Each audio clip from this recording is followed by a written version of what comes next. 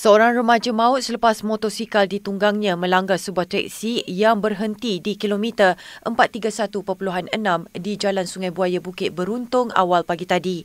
Dalam kejadian jam 12.55 pagi itu, mangsa Nur Amjad Akmal Nur Azlan 16 tahun cedera parah dan maut di tempat kejadian. Menurut polis, motosikal yang ditunggang masa melanggar bahagian belakang teksi terbabit di lorong kiri sebelum terjatuh di lorong kecemasan. Nur Amjad Akmal Kamal yang menetap di Putrajaya maut akibat kecederaan parah di bahagian badan. Bagaimanapun, pemandu teksi berkenaan tidak mengalami sebarang kecederaan.